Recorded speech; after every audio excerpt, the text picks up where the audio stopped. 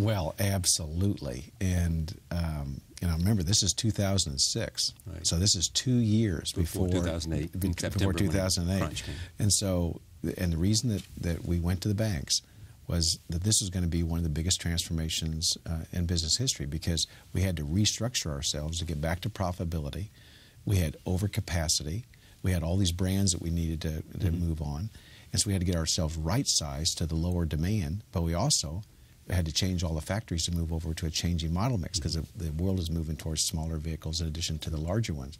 So big investment for that, big investment for investing in the new products, and then investing for the profitable growth uh, later. So we went to the banks Right. with this plan, and we raised $23.5 billion in 2006. So we had the financing to go forward. It, it- but my question in terms of is, is it all um, an advantage? Because your people have said, uh, have been quoted as saying it was a huge bonanza of a marketing advantage for us. Well, It gave us an image at a time that we needed it.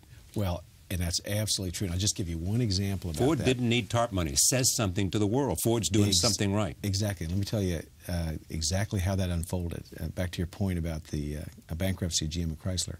You know, clearly, General Motors and Chrysler were completely bankrupt. They couldn't raise any money from anybody based on the strength of their plan and the situation they're in.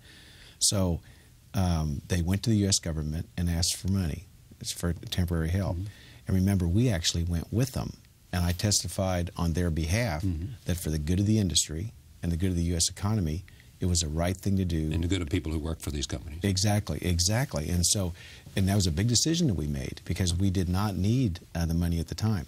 Now, do you remember the hearings? Yes. Everybody was watching the hearings, and within, um, you know, within a couple of weeks, 97% of all the people in the United States knew that GM and Chrysler were bankrupt, but Ford was not, and Ford was not asking for money, and that Ford had a plan.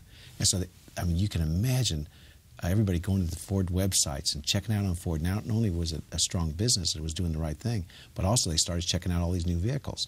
And that's why, to your point, uh, the the uh, the feelings that people have throughout the United States for Ford, and the fact that not only we're making great products, but we're doing it without the use of precious taxpayer money was a real real plus for us. Join us online at charlierose.com.